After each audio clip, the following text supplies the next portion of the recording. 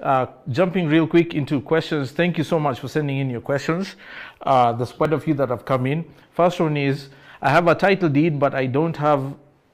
an RIM. Where can I get an RIM?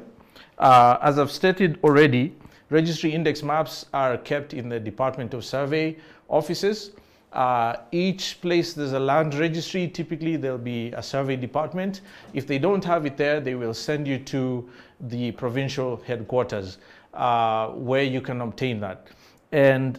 if you have the title deed but don't have the RIM, you can simply go with either your original copy of title or your certified copy of one, present it to the survey office and ask them to retrieve uh, the registry index map for your area, which they can trace easily from the details on the title deed because uh, it'll have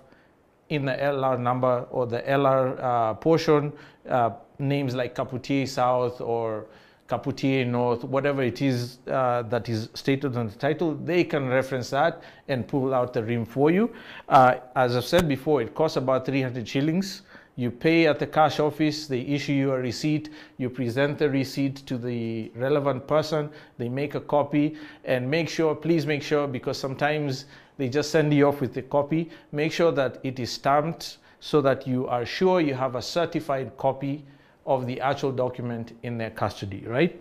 Uh, and in the event that your property is not clearly indicated on the RIM, you can initiate that process with them to have your property indicated there uh, and they can tell you if there's a problem or not but at least you would know if there's a problem as opposed to being in the in the dark or being blind about it and then you have issues later right?